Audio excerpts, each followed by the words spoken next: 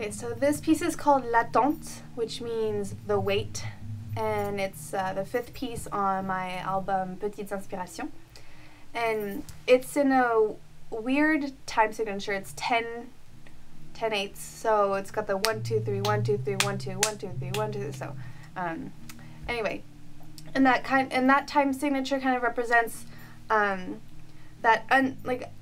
I just I remember it was Wednesday and I was in a relationship and I was I knew I was gonna see him at the end of the day and I was just like waiting and I just it's that oh my god time has to go by what am I gonna do? Like that waiting feeling and so there's this sense of